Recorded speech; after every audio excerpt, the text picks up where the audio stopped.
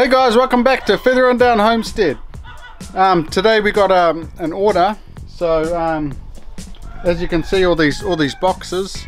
Well, um, like in there, you can see they're like uh, the, the, feeders. You know, the feeders we use on our um, chicken hill and that. We've got about 12 of them around there. They range from 8 to 20 kgs. Well, we're actually a stockist for um, Chook Manor, so we actually sell all them and the heat plates and all that so this is probably like a $2,000 order. So we buy it and then we sell it off make a little bit of profit. Bit of a sideline business but um yeah I thought I'd just show you that. So today my wife's on animal duty so she's informed me that there is some bins empty. I did fill up some yesterday but gonna have to go do some today give her a bit of a break. Um, so I'm to do that and then uh, check out down the bottom a little bit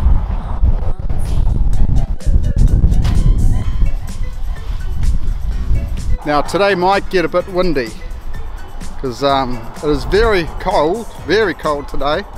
Um, down the south we're getting a bit of a polar blast so it's getting to almost I think minus 20 or something like that. Um, so yeah it's freezing and very windy so if you can't hear me that's why.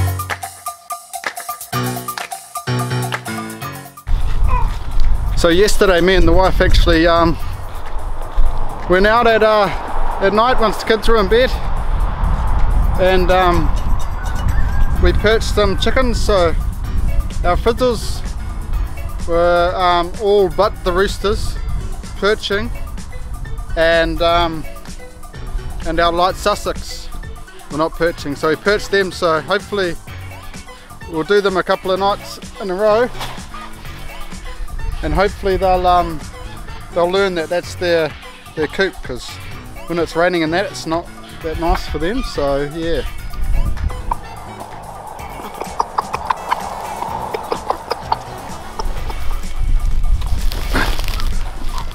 Pretty much the the only problem um, I'm seeing right now is the um, leghorns that were in the barred pen we actually put them back into the leghorn pen last night, perched them, and now I see two of them are back in the barred rock pen.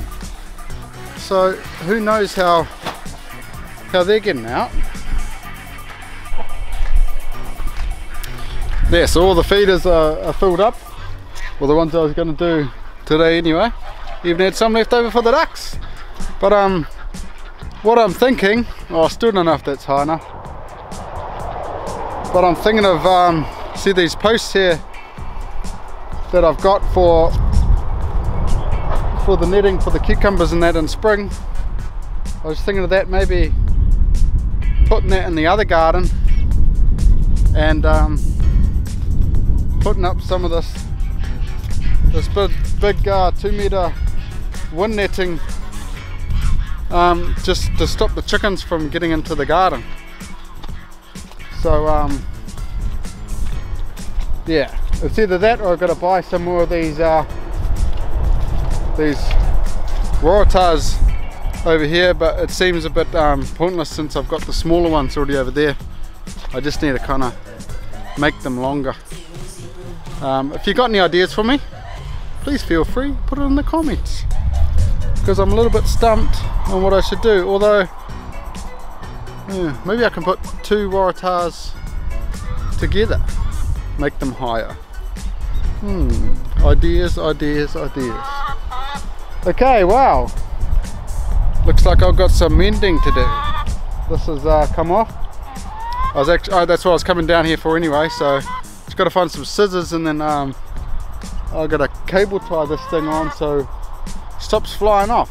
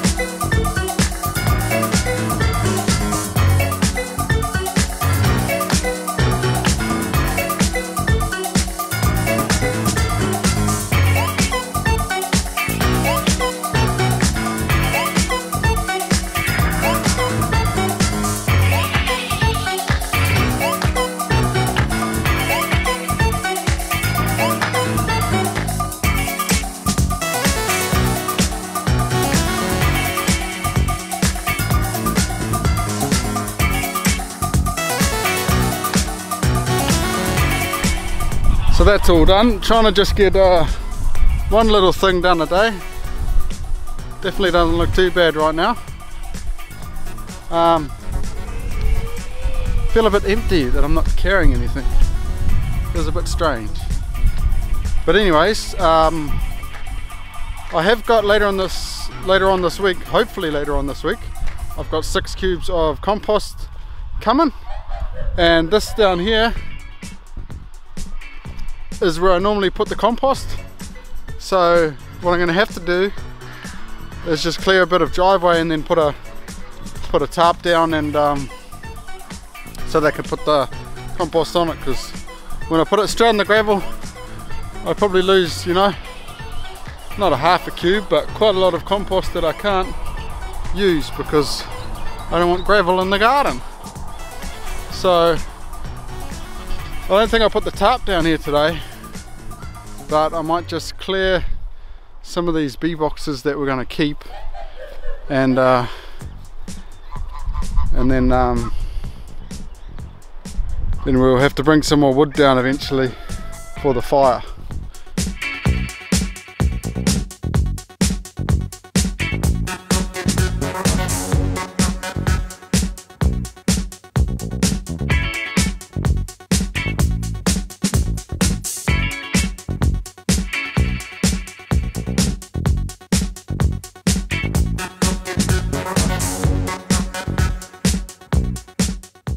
So that's pretty much just bee frames and some old wood from up the top. And you can see our um, stack of uh, bee boxes over there.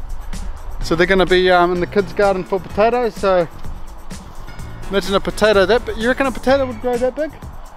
Let's get a bit closer, eh?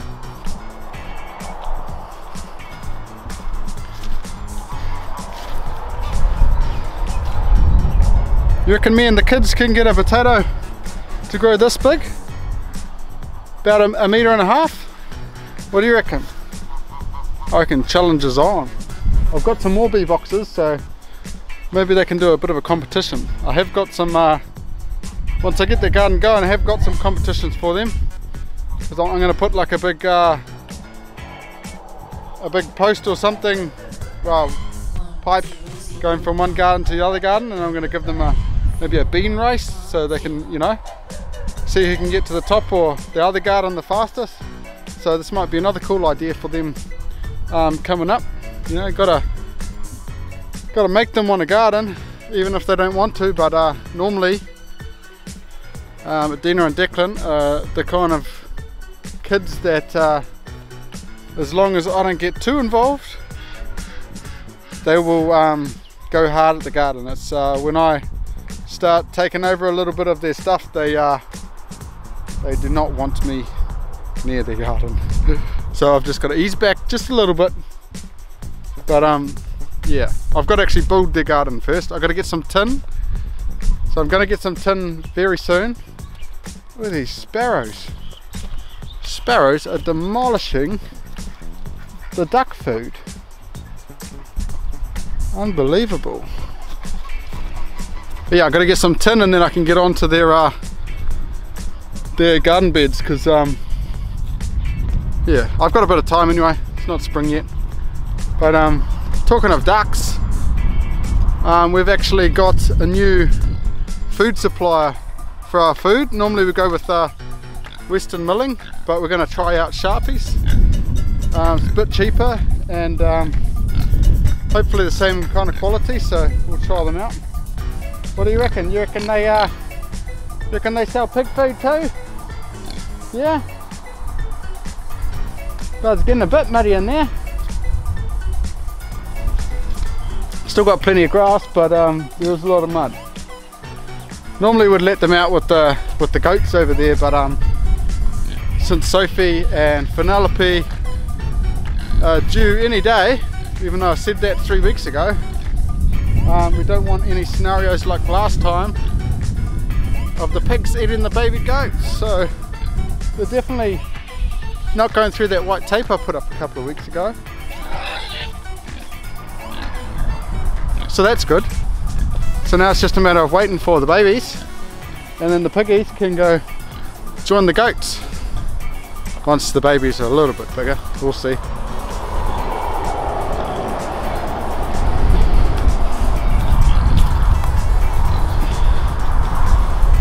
But yeah, today's just a bit of a walk around and uh, yapping.